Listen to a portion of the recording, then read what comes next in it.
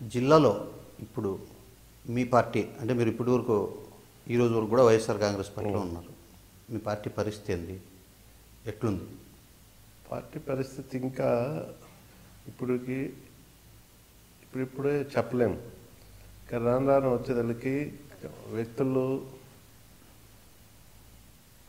క్యాండిడేట్లు డిసైడ్ అయితే జిల్లా పరిస్థితి ఒక- రకంగా ఊహించవచ్చు. ఇప్పుడిప్పుడే మనం ఊహించలేం. ఎలక్షన్ దగ్గరికి వచ్చి క్యాండిడేట్ను డిసైడ్ అయితే కొంచెం జిల్లా పరిస్థితి ఏందనేది ఊహించవచ్చు. ఇప్పుడైతే పూర్తిగా ఏం చెప్పలేం.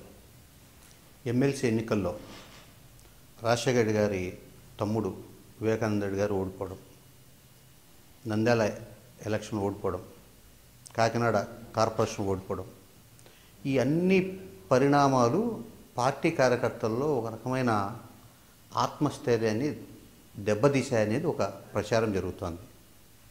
అంటే నంద్యాల కాకినాడ పక్కకు వదిలేస్తే లోకల్గా వివేకానంద రెడ్డి గారు ఓడిపోవడాన్ని మీరు ఏ రకంగా తీసుకుంటున్నారు? వివేకానంద రెడ్డి పూర్తి మద్దతు అసలు యాక్చువల్గా ఇక్కడ ఒక ఎంపీటీసీ మదన్నానే ఇక్కడ లక్కిడిపల్లి మండలంలో ఎంపీటీసీ మన పార్టీలో చేరతానని తెలుగుదేశం పార్టీ నుంచి మన పార్టీలో చేరతాన్నాడని ఆ రోజు అందరినీ పిలిపించింది. ఆ రోజు వివేకానంద రెడ్డి కూడా వచ్చినాడు. అందరం ఇక్కడ జిల్లా నాయకులు అందరం ఇప్పుడు ఈడికి వచ్చి ఇంట్లో నుంచి అడిగి పోయినాం ఆ రోజు ఫస్ట్ నేనే ప్రపోజల్ పెట్టా నా ఎమ్మెల్సీ ఎలక్షన్లు వస్తున్నాయి కదా మీరైతే బెటర్ క్యాండిడేట్ అవుతారు.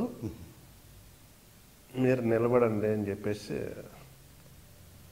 ఆ రోజు నేనే ఫస్ట్ ప్రపోజల్ అన్నకు చెప్పిందా. ఆ రోజే స్టార్ట్ చేసినాడు మిగతా అందరితో మాట్లాడడం.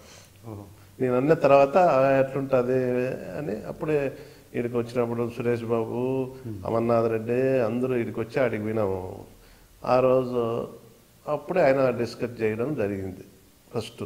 ఆ తర్వాత జగన్ సార్ దగ్గర పోయి చెప్పడము ఆయన వివేకానంద రెడ్డిని క్యాండిడేట్ చేయడం అంతా జరిగిపోయింది నేను కూడా పూర్తి ముప్పై రోజులు క్యాంపులో పూర్తిగా ఎంపీటీసీలతో నేను శ్రీకాంత్ ఇద్దరం ఉన్నాం ఆయన పూర్తిగా మద్దతుగా పూర్తిగా ఆయనకి మద్దతు ఇచ్చినాం. అయితే అధికార పార్టీకి అంతమంది ఎంపీటీసీలు ఎవరు తెచ్చుకోకపోయినా కూడా మేము అధికార పార్టీలో ఉండేవాడిని ఇద్దరిని తీసుకొచ్చినాం నేను